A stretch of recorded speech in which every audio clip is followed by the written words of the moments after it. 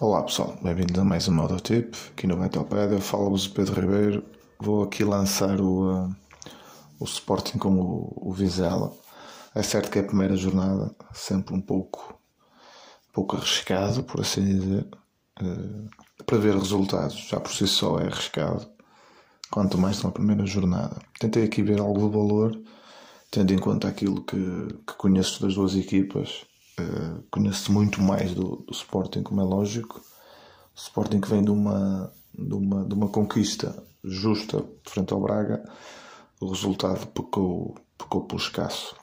Uh, o Ruben Amorim tem jogado com os três da frente, os três melhores avançados que tem, e quando não se inventa, o resultado está tá à vista. O Giovanni está fortíssimo, tem remate fácil, o Pote também tá, já começa a engrenar grande golo. O Paulinho é, foi um grande reforço para esta equipa. É, o Sporting diferente com o Paulinho a jogar, com o futebol fica mais perfumado, por assim dizer. É, e o, o Amorim tem razão naquilo que diz, a vitória frente ao Braga.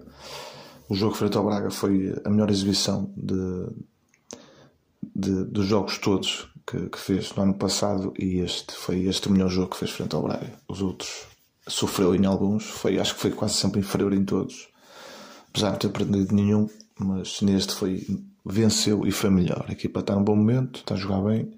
Frente a um Vizela, como diz o Álvaro, treinador de Vizela, uh, ainda há dois anos estava no, no Campeonato de Portugal, portanto é uma realidade diferente, distinta. Vizela com algumas limitações, como é lógico, e uh, vai acabar por perder a partida. É um o resultado que, que se espera. Aqui um empate, um, um triunfo de Vizela era uma surpresa gigante. Uh, por isso, aqui, aqui a, a baixa do, do Nuno Mendes para jogar o Vinagre. O Vinagre, ofensivamente, eu, eu, gosto do Vinagre, já gostava dele no, uh, no Wolves, só que o, o, Nuno insistia no Johnny Castro, que não dá muito para entender, mas pronto, opções.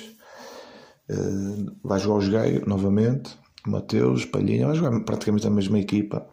Uh, e é tipo que eu vou lançar à espera aqui de um, de um, de um 3-0, 3-1 por aí. Espero aqui um resultado, um Sporting confiante, a jogar bem, com golos, e, uh, mas para ser uma aposta mais, mais segura, por assim dizer, vou no Sporting uh, over 2. O Sporting a marcar 2, não 2,5.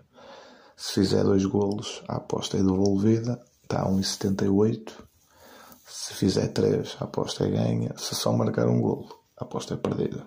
Tá pessoal? Grande abraço.